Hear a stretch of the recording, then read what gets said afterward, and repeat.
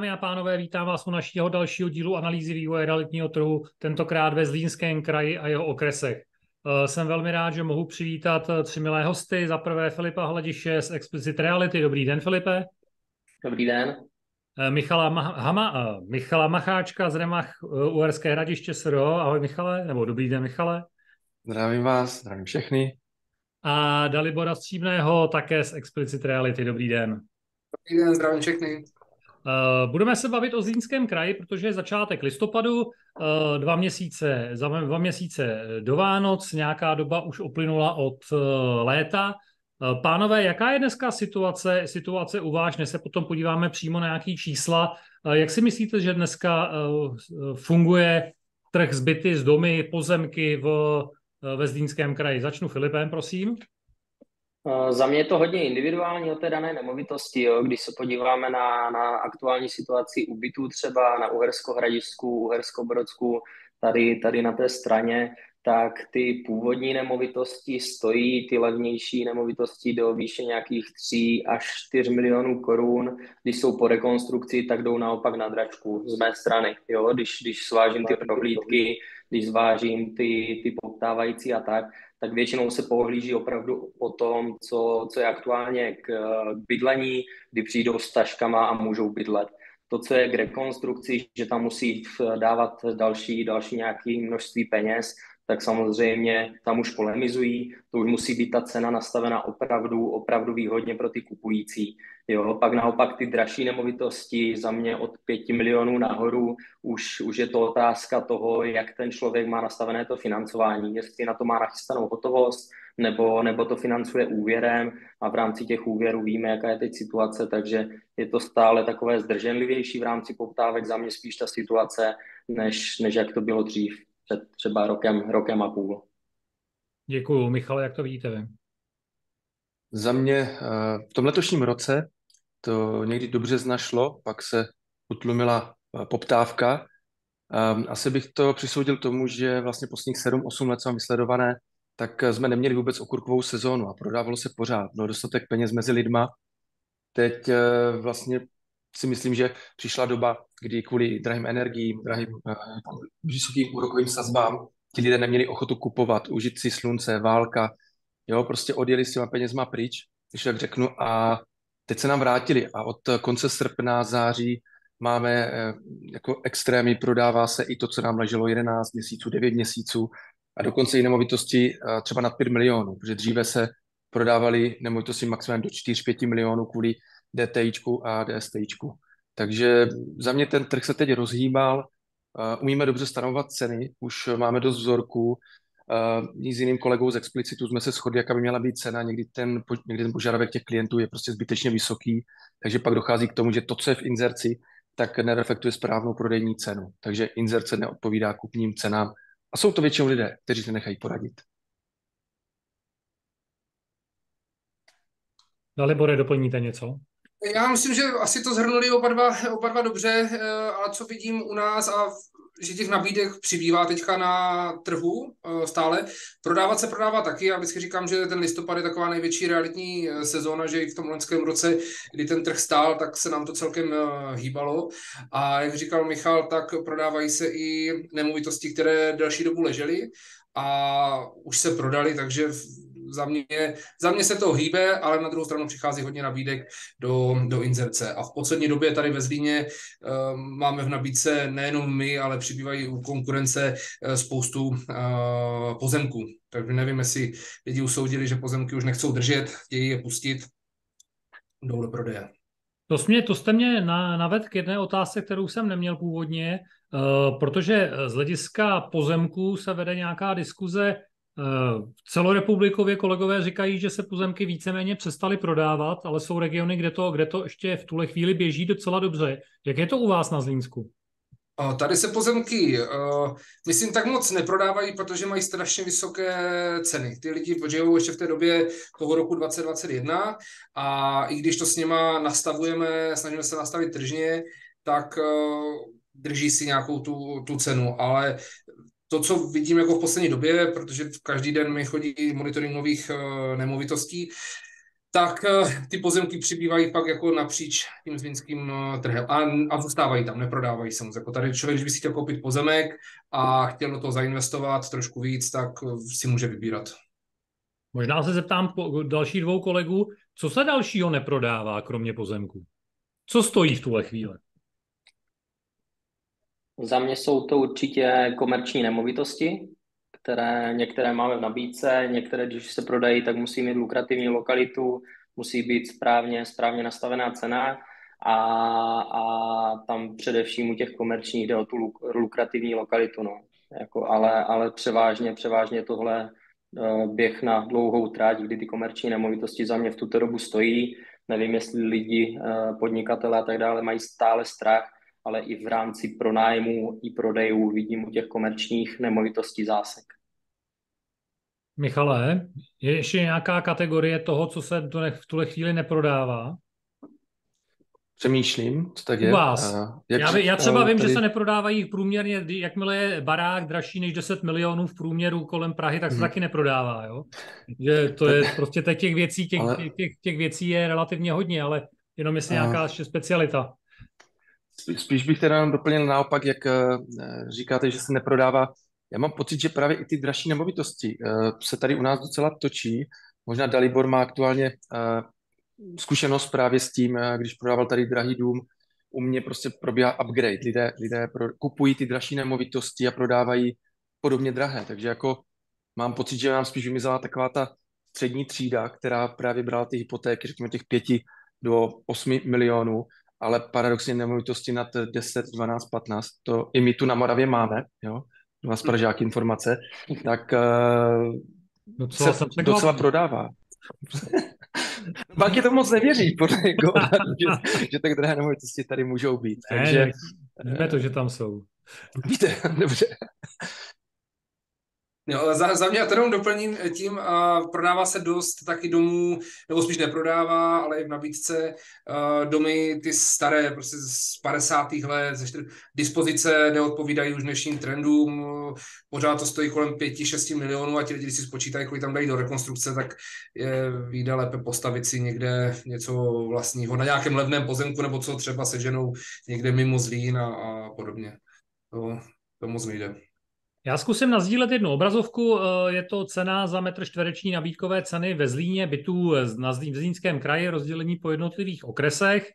Eh, zajímavá informace pro vás, říkal jsem vám ještě, než jsme začali pouštět nahrávání, že Zlín je jeden z mála eh, krajů, kde nabídková cena bytů k prodeji ještě od ledna do konce října letošního roku klesla protože celá republika už je, už je v plusu a dokonce v plusu jsou i veškeré typy nemovitostí typu malých bytů, středních bytů, velkých bytů. Už to podle nabídkových cen začalo opětově růst. Eh, u vás je lehký pokles. Eh, Zlín jako takový okres, eh, tam je to flat, stejné, plus minus. Největší pokles 6,6% má Uherské hradiště, to znamená, to jsou lokality, kde vy působíte. Eh, jak vysledujete tu cenovou úroveň eh, u vás eh, ve Zlínském kraji z hlediska rozdílu třeba nabídkových a pak těch realizačních cen, které, které tam samozřejmě nevidíme, protože na katastru se projeví později. Kdo začne, pánové, kdo chce? Já teda v Hradišti, když mám ten pokles. Zase bych se opakoval, když řeknu, že jsem měl dovolenou, tak proto ten pokles. No, tak to víme, že jo. Ale uh, já si myslím, že už se dostáváme do, do toho sedla, jo? že tak vlastně jak to klesá, tak uh, když umíme ty ceny dobře určit, uh, říkám pořád asi v rukách těch klientů, kdy oni nevěří, že ta cena by měla být nižší, než, než oni požadují, kdy pořád vidí, co je na internetu. Jinak tím, že je to moje jediná práce, tak vlastně vidíme, ty byty se kolem nás točí a víme, za kolik se inzerovali, jak se, a leží tam dlouho, jo, a vlastně kde je to dno, za kolik se prodali a k tomu přizpůsobujeme potom ty další in, ceny, které jdou do inzerce. A realizace tím, že děláme cenové odhady, děláme to pro třeba dědictví, tak eh, ty informace k nám dostávají, to proklikáváme, takže zhruba víme. Aspoň teda v Hradišti, tím, že já dělám tady okolí 15 kilometrů, tak eh, ten, ten vzor, mám do vzorku a mám velký přehled. Jo? Moc nejezdím dál. Kluci ve Zlíně to mají těžší, nebo Já bych do Michale skoro řekl, že dál si skoro nedostanete, ale uh, protože dál nedojedete, ale to je zase od, odbočka někam jinam. Pánové, jak to, jak to vypadá ve Zlíně? Já jenom uh, vždycky nechápu, kde se, a to sleduju data, ať už od vás, kamakoliv jiná, tak oni sedí, jako dá se říct plus minus, ale nevím, kde s kam jdou, protože za 64 tisíc teďka jsem nenabízel byt, ani nepamatuju, když rovnou jdu za klientama, tak řešíme 50 tisíc, 55, jako když je v dobrém stavu.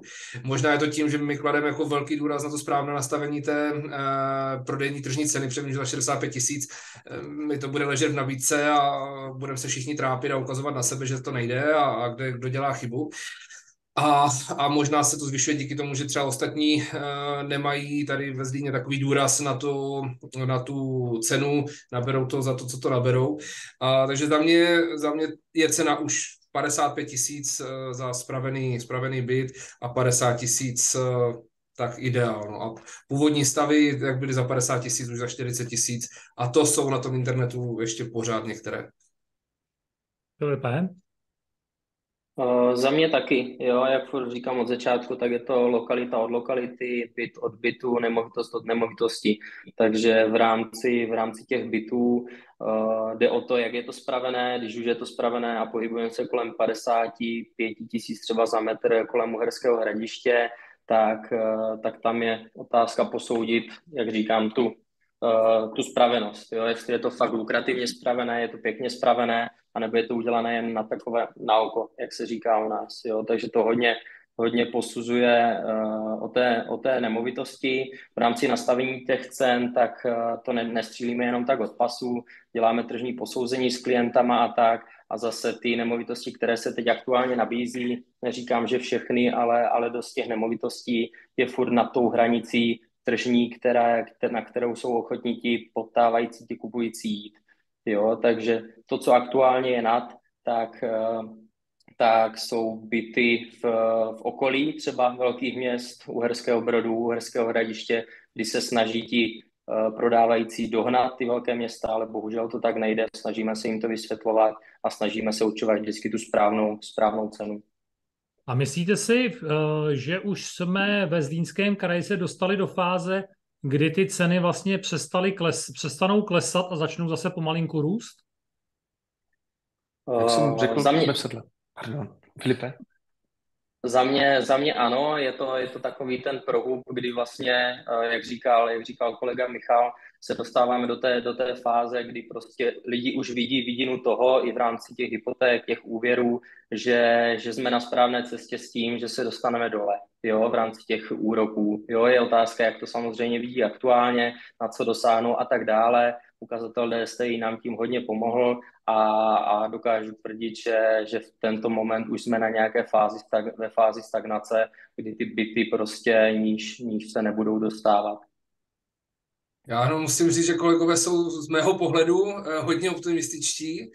A já jsem to cítil taky tak jednu dobu, že jsme jako už v nějakém tom sedle a že už to bude jako dobré, že příště už bude fajn, já jsem to tlumočil tak několika lidem, ale myslím si, že, ten, že to sedlo nebo že v tom spodku budeme ještě příští rok a 24 se to začne už zlepšovat a e, nemyslím si, že nám k tomu pomůže Česká národní banka jen tak rychle a ta kupní síla se podle mě tak jako neoživí. Můj názor, já jsem vždycky optimista, ale teď už měním trošku jen svůj názor, myslím si, že budeme chvilku sedle. My jsme v Uherském hradišti pozitivnější, takže, takže to bereme.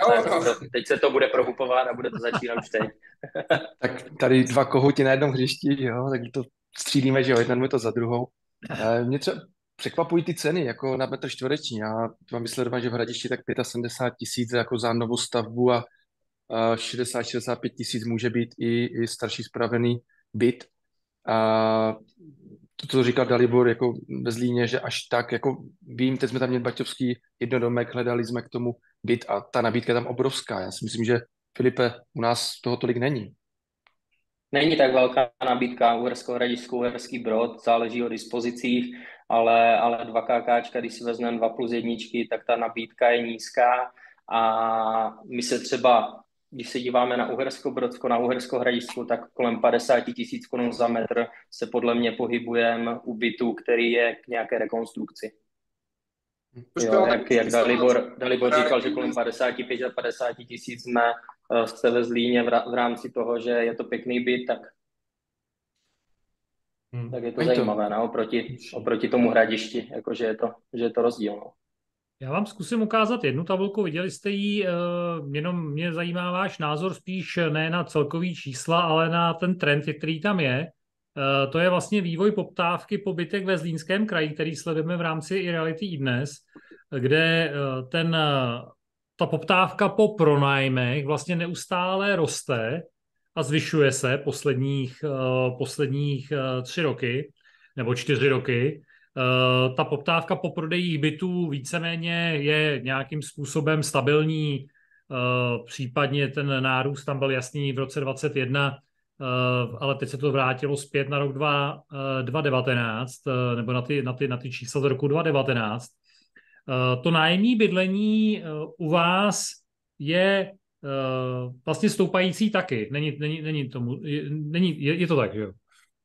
Poptávka určitě. Otázka, jestli je co pronajímat. Michale. No, pronájmy docela frčí. A když můžu říct, že loni to byl větší fičák a těch poptávajících bylo víc. tak se mi to zdá. Jo, v tenhle moment eh, jako ne, děláme, děláme třeba, nebo osobně dělám třeba 10 pronájmů měsíčně, jo, jsou relativně rychle pryč, ale ta poptávka myslím si, že o, jako by měla být nižší, než je ten loňský rok. Jo, za mě, tak vysledované. Ostatní pánové, vaše, vaše poznatky? Uherské hradiště, Uherský Brod potvrzuju s tím, že v minulém roce těch poptávajících bylo víc, ale teď si myslím i v rámci té nabídky i poptávky, že se to tak vyrovnalo, že je to tak akorát, jak se strany poptávající, tak ze strany nabízející, že se něco nabídne, těch poptávek tam není, není 50, jich 10, 10, 15, ale, ale jsou, jsou jasně dané, že prostě, že už jsou to fakt eh, zájemci, kteří, kteří o to zájem mají, jo, takže se to celkem vyvážilo za mě. My tady máme trošku útlum zase v listopadu, jako i loňský rok, nebo jako každý rok, přes zase už studenti se naplnili, už to zmizelo všechno přes univerzitní město, tak ten srpen, srpen, září je největší, největší pičák, ale myslím si, že teďka oproti Loňsku i před Loňsku je to celkem eh, vyvážené nabídka, poptávka, neleží to tam dlouho, jsou na to zájemci. Eh, myslím, že to je zdravé teďka na trhu s pronájmy ve Zlíně. Jak očekáváte, že bude závěr, závěr letošního roku? Eh, v posledních letech, teď pomineme poslední dva roky, ale v posledních letech byl takový jako vždycky, vždycky, vždycky lehký, lehký útlum od druhé půlky listopadu do nějaké půlky, půlky ledna. Loni, loni ten útlum žádný nebyl, tam to vypadalo, že jak realitní makléři, tak ty, kteří, kteří chtějí kupovat nebo prodávat, tak byli velmi aktivní. Uh, letos už dokonce lidi jezdí na dovolené, že jo? takže už mají možná, možná už jsou uh, odpočatí. Jak, jak očekáváte, že bude závěr roku u vás?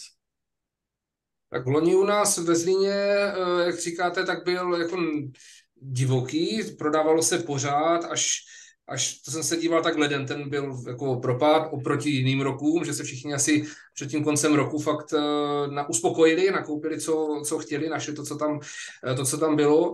A já vždycky, jak říkám, podzim je sezóna do půlky prosince a pak mezi svátkama vždycky říkám, hledám si volno, nic nebudu dělat, tak stejně se dotahují nějaké obchody a tak nějak to pořád, pořád jede. Uh, takže si myslím, že to bude i letos stejné, že se začne, nebo že se už teďka se tak prodává, ale ještě to není to, co bylo minulý rok a to jsem loni nečekal nic moc.